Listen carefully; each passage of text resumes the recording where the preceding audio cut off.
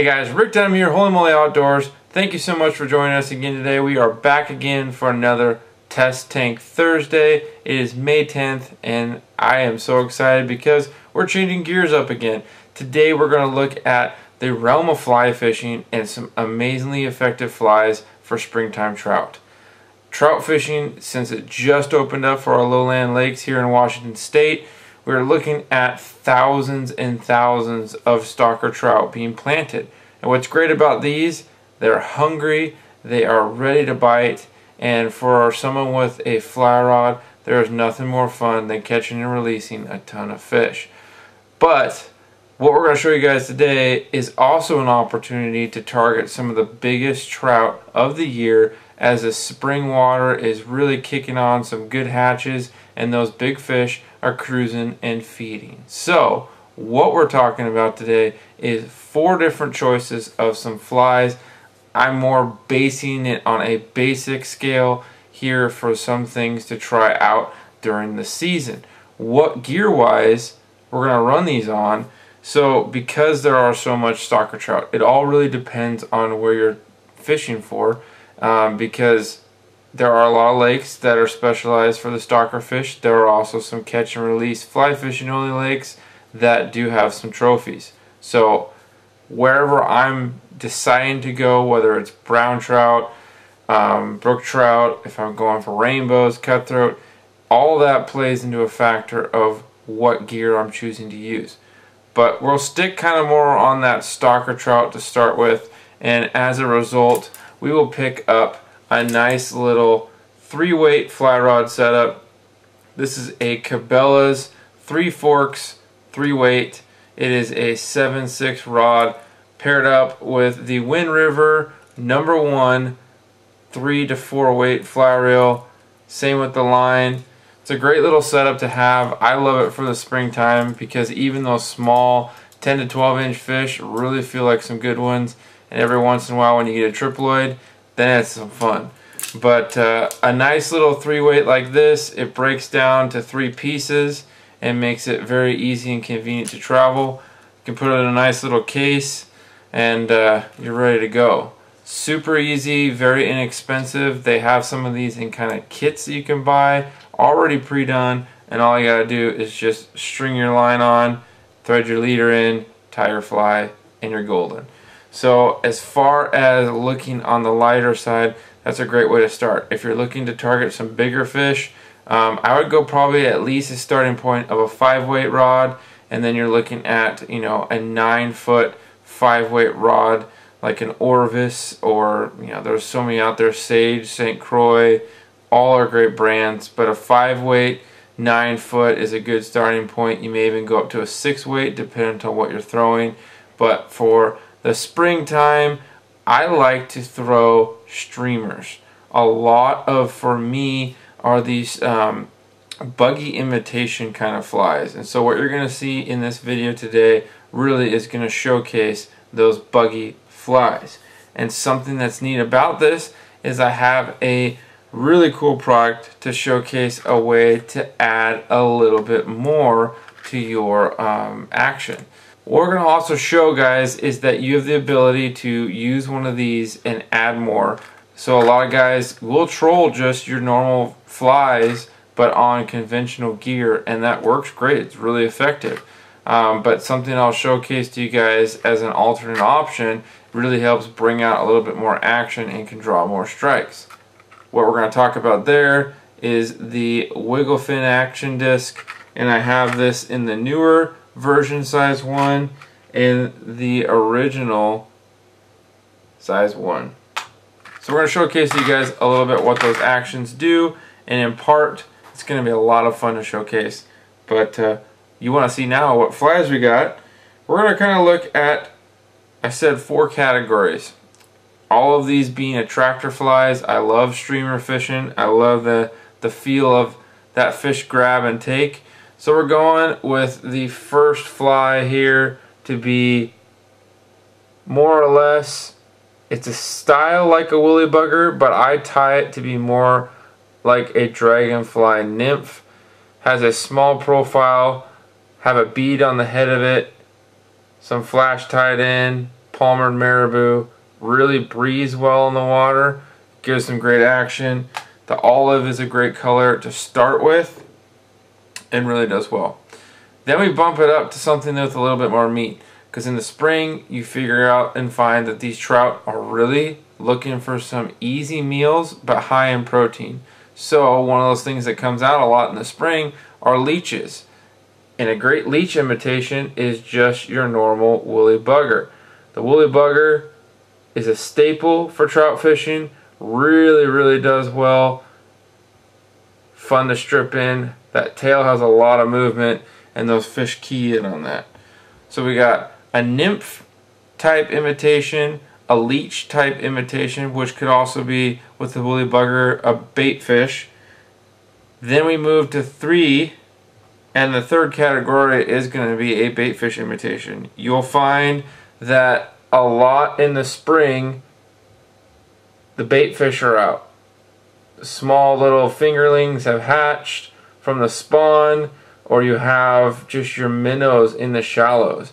And as a result, big hungry trout are on the prowl and these make great little snacks for them. Really really like these. And in fact this fly in particular that I tied up has done really really well at one of my lakes. Absolutely love it.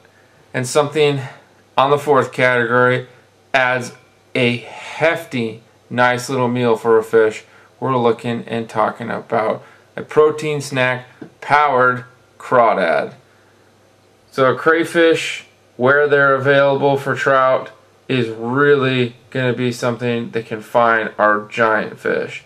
So this fly worked close to the bottom, whether in a stream or in a lake, you will be able to find some of the biggest fish to chomp down on that thing. And this is going to be some killer action. So let's go take this to the test tank, showcase to you guys not only just the fly itself, but we'll throw in the wiggle disc and showcase what it really looks like with some different action. Stay tuned. Alright guys, and so there is our little damselfly slash woolly bugger nymph. Really looks good. Streamline profile. And like I said, I grabbed that bobber stop there to showcase the wiggle fin disc next. This is a little bit of a sinking fly, so it fishes well just on the surface with an intermediate line if you would like. You could do floating line too, or you can work a sink tip or a little bit full sink line and uh, really get down if the fish are deeper. But a great fly to be using. Alright, and here is the wiggle fin disc in front of our same fly. It almost gives it a little bit of a crankbait like action which really draws strikes from fish that follow. So if you like to troll flies on a spinning rod this is a great way to get some bites Alright, and there's our woolly bugger leech there. A really nice representation of that movement in the water. Really responds well with the marabou. And really, because of the way the profile is, you can imitate a few different things that could imitate a crawfish, that could imitate a bait fish.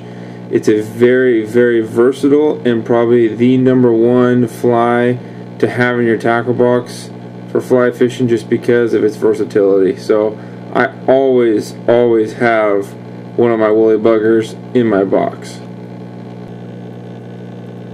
Alright, and with that new style wiggle fin disc on front, you can see that crankbait style action being imparted to that marabou and really, really looks good.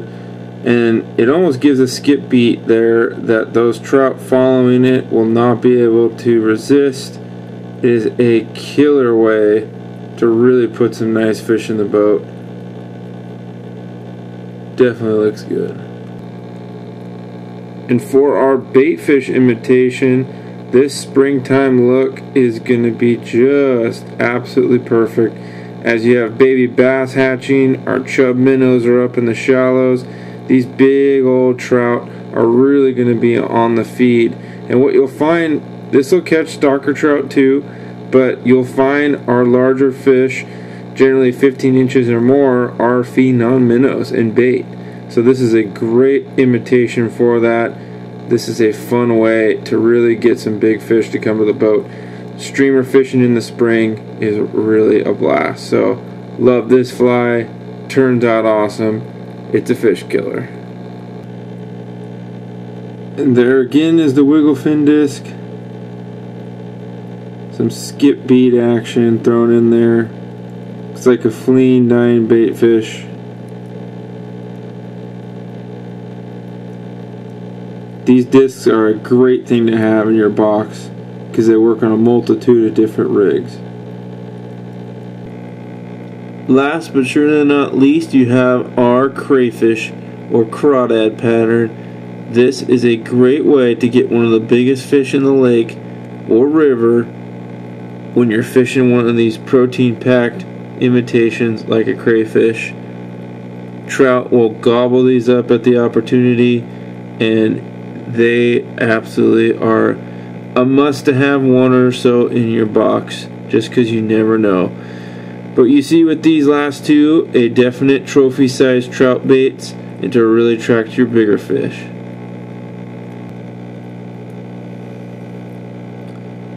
There's a little wiggle fin action on the crawdad to give it just a little bit of movement for trolling if you choose to do so.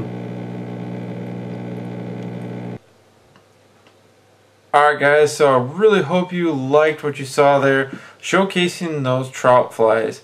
And I really have to say, on a basic level, trout fishing on a fly rod, you do not to be needing any complexity. It can be as simple as you want it to be, and because of that way, you can really get into it on an easy way for a beginner. Like I said, there are kits that you can get out there that have everything all set up really makes the process easy to get into and the springtime like this is the perfect time to get yourself out there and break it in because a lot of these fish are eager on the bite up in the 5 to 10 feet surface wear of the water column making it very easy to target with the types of flies that I showcased to you.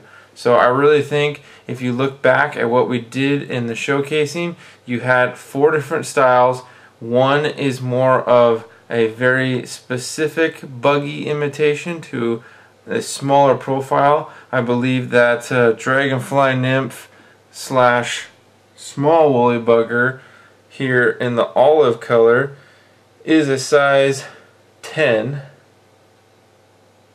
Makes for a really nice fly on those small fish. Then we bumped it up to a black woolly bugger leech imitation which I believe is on a size 6 perfect style for the springtime. Then we have our minnow pattern which really I believe excels when you start targeting fish that are outside that stocker range. Um, this one I look at for lakes to have baitfish present. It's a very good imitator. And then lastly, of course, big fish love a big meal. And you can imitate that with a nice little crayfish. But that's it guys. A lot of fun. I love fly fishing. Grew up in it.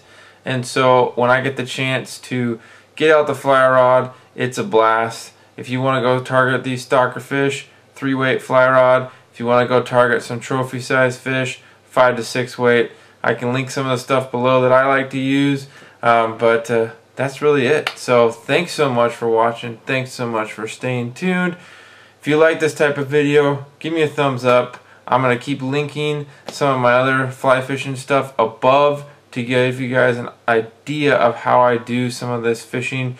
Um, and then if you guys want to see more types of stuff in the test tank, please let me know. Send me a comment below. I'll take a look at them. I read everything and it really appreciate all that you guys do for for us. I mean, this is why we're here to help showcase to you guys simple ways to catch more fish. But I know after doing one of the polls that we had on our Facebook page, you guys want to see more fishing action videos. I know it's been a lot of how-to, a lot of in the test tank videos. So I think we're going to start venturing outside now that the weather's getting a little better and showcase to you guys a little what we're talking about. So stay tuned. Thanks so much. And we'll catch you on the water. Take care, guys. Fish on!